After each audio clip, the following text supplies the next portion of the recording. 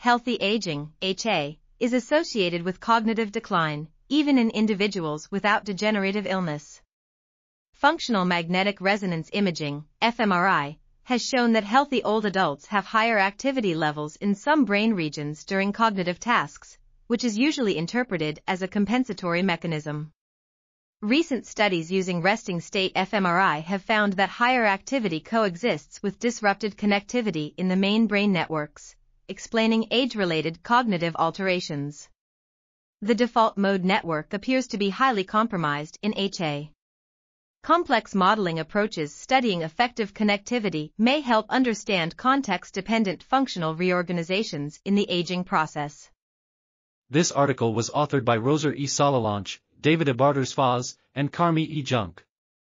We are RTCL.TV, links in the description below.